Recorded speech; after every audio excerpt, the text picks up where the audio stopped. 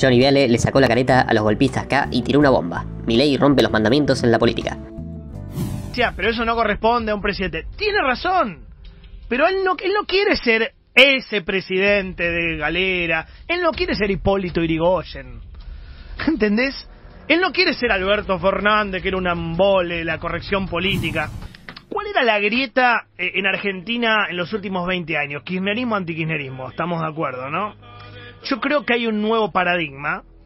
Hoy la grieta es distinta, hoy es Milei de un lado y todos del otro lado. Sería algo así como Milei contra todos. Y Milei lo está aprovechando, ¿no? ¿Cómo? Rompiendo todos los mandamientos de la política tradicional. Mandamiento número uno. Mantendrás el decoro. Entonces, ¿qué hace Milei? Todo lo contrario. Hace un show de imitaciones en una cena de gala. El tipo tiene un lenguaje muy agresivo, la verdad es muy agresivo, eh, muy llano, eh, y muy disruptivo. Y un tanto divertido para, tal vez para nosotros, a nosotros también no nos divierte mucho, ¿no? Pero hay un sector de la juventud que le gusta que Milei haga estas cosas. Nosotros no, lo, no la vamos a ver nunca esta. Y tal vez una... Bueno, a Avellaneda le gusta. A Avellaneda le gusta. Pero tal vez la señora que está escuchando dice, no, qué sé yo, me parece muy soez, muy vulgar. Ahora, hay jóvenes, yo les quiero decir que nosotros no, no vemos esto. Hay jóvenes que buscan menos impostura, menos corrección política, más genuino, más real, más sincero, menos chamullo, menos cassette. Entonces el tipo hace esto a propósito. Pero nosotros no lo vamos a ver esto, porque estamos switchados de otra manera, seteados de otra manera. Este tipo puede que esté loco, pero no es tonto. Hay una búsqueda discursiva disruptiva. ¿Entendés? De vuelta, hay una búsqueda discursiva disruptiva.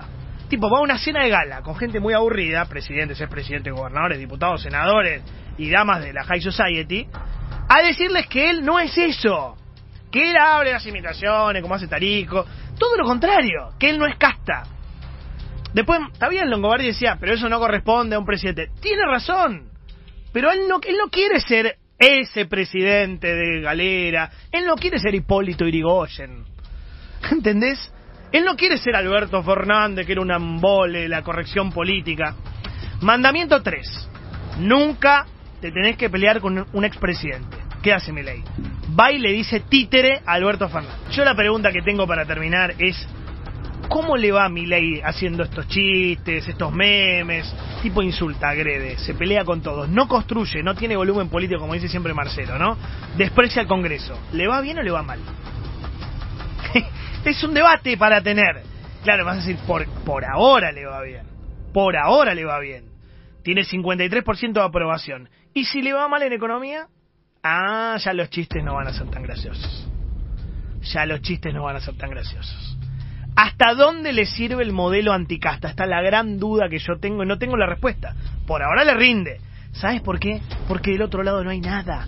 Nada, nada, nada. Por estas declaraciones nefastas, golpistas, espantosas, calamitosas, es que mi ley todavía mantiene un alto nivel de confianza.